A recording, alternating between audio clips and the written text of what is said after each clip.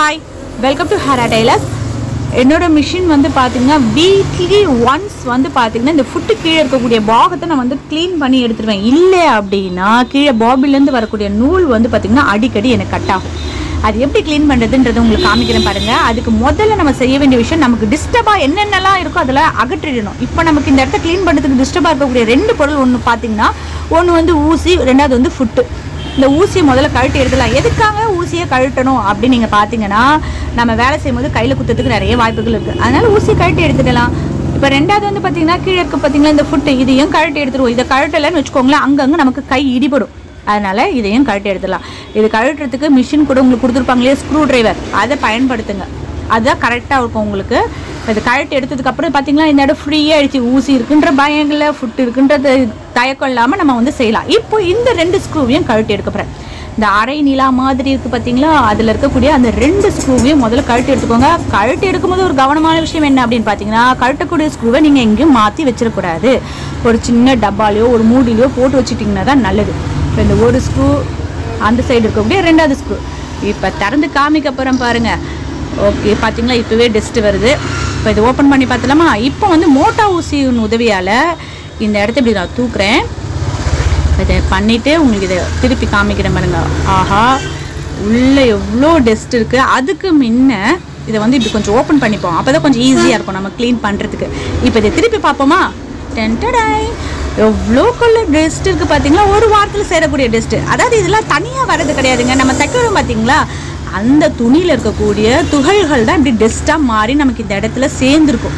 இதெல்லாம் மொத்தமாக இப்படி சேர்ந்து இருந்ததுன்னா என்னங்க ஆகும்? நம்ம உபயோகப்படுத்துறது வந்து பார்த்திங்கன்னா காட்டன் நூல். இவ்வளோ துணிகள் டெஸ்ட்டுகள்லாம் சேர்ந்துட்டு இருந்தால் அந்த காட்டன் நூலில் பட்டு அறுபட்டு தான் போகும். இன்னும் எவ்வளோ வருது பாருங்கள் உள்ளே அந்த பல்லு கீழெல்லாம் வருது பாருங்களா இதெல்லாம் ஒரு வாரத்தில் சேர்ந்ததுன்னா யாரை நம்புவாங்களா? ஆனால் கண்டிப்பாக நமக்கு ஒரு டவுட் வரும். ஏன்டா கீழே நூல் வந்து அறுபட்டுக்கிட்டே இருக்குது. இதுதான் காரணம். பாருங்கள் எவ்வளோக்குள்ளே வருது பார்த்தீங்களா? இதெல்லாம் முதல்ல மோட்டா ஊசியோட உதவியால் முதல்ல எல்லாத்தையும் ஃபஸ்ட்டு க்ளீன் பண்ணிவிடுங்க நான் க்ளீன் பண்ணிவிட்டு அடுத்தது நம்ம செய்ய வேண்டிய விஷயம் என்ன அப்படின்னு பார்த்தீங்கன்னா நம்ம வீட்டில் தேவையில்லாமல் போட்டுருவோம் இல்லையா? டூத் ப்ரெஷ்ஷு eh, அந்த ப்ரெஷ்ஷு ஒன்று ரெடியாக வச்சுக்கோங்க. இதெல்லாம் ஊசியில் எடுக்க வேண்டிய இந்த வேலையெல்லாம் எடுத்து முடிச்சதுக்கப்புறமா அந்த ப்ரெஷ்ஷை வச்சு இந்த இடத்துல ஒரு க்ளீன் பண்ணிட்டோம் அப்படின்னா சுத்தமாக ஆகிடும் இதுக்கெலாம் தனியாக எதுக்குங்க நம்ம மெக்கானிக் கூப்பிட்டுக்கிட்டு? பார்த்தீங்களா எவ்வளோ டஸ்ட் இவ்வளோ டஸ்ட் இருந்தால் எப்படிங்க நூல் கீழே இருந்து மேலே வரும்? சொல்லுங்கள் பார்ப்போம் இப்போ இது பார்த்தீங்கன்னா இந்த ப்ரெஷ்ஷை வச்சு நான் க்ளீன் பண்ணிடுறேன். சுத்தமாக இது க்ளீன் பண்ணிட்டதுக்கப்புறமா இதே ப்ரெஷ்ஷை வச்சு அந்த பல் பக்கம் இருக்குது பார்த்தீங்களா மிஷின் கிட்ட பல். அந்த பல்லாண்டி நல்லா க்ளீன் பண்ணனா இன்னும் கொஞ்சம் கொஞ்சம் இருக்கக்கூடிய அந்த டஸ்ட்டு கூட நமக்கு வெளியே வந்துடும் ஃபுல்லாக இப்படி க்ளீன் பண்ணி எடுத்துருங்க.